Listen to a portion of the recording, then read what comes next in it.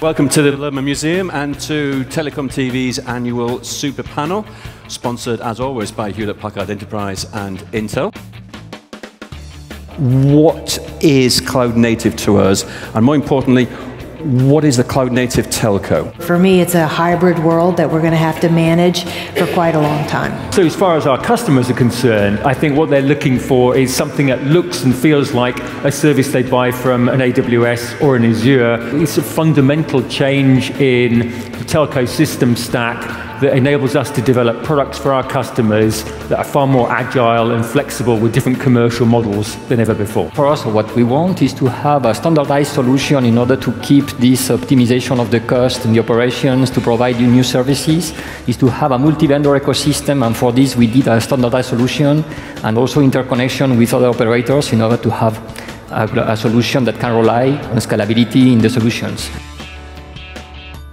I think it is a much heavier lift than people imagine who, who, who build applications for the cloud to understand that those um, same applications have to work in networks and network architectures are very different than cloud architectures. But if there are certain functions that do need the agility, that you do need to transform into cloud native in order to deliver the services agility or the business impact, then you will see the ecosystem and you will see the vendors actually changing their architecture to accommodate those business needs. If I talk to our customers, multinational corporations, talk to analysts like Gartner, then they'll, they'll say the same thing. There are no global deployments of service chain VNFs at scale anywhere. The rise of industrial IoT as a use case for key customers in the manufacturing, mining, oil and gas sectors, which I think is really going to drive forward the UCP adoption. I disagree that there aren't large scale deployments of service chains at scale, but that could be a conversation for another day.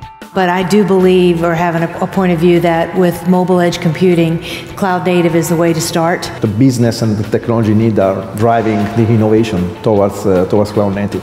And can be done today, yeah, because on MEC we have very good uh, example of things that can be deployed now that are exactly in this direction. The largest developer community is the cloud developers and they understand cloud native they understand microservices they understand you know the programming paradigms that they've been exposed to in the cloud 5g and edge can thrive if we open up to that developer community. Partners are not the traditional partners that we might have all, all of us might have i'd like to find a better word than been in bed with mm. but been in bed with in the past. The new world is going to be completely different.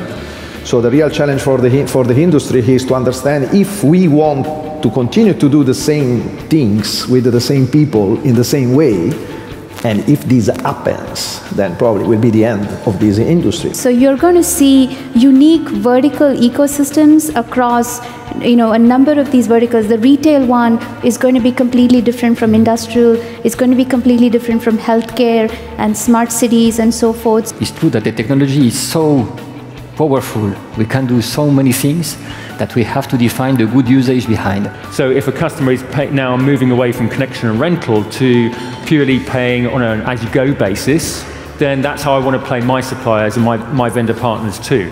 So we're looking for, for vendor partners that will actually work on the new commercial model, as well as being agile and flexible.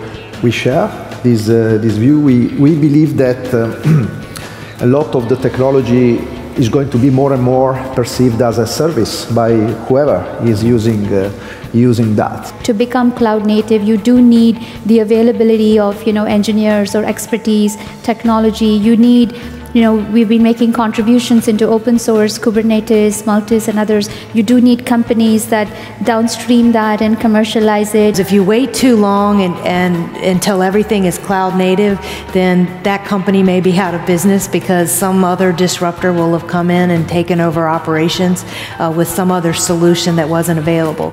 Please thank our panelists for their time this evening.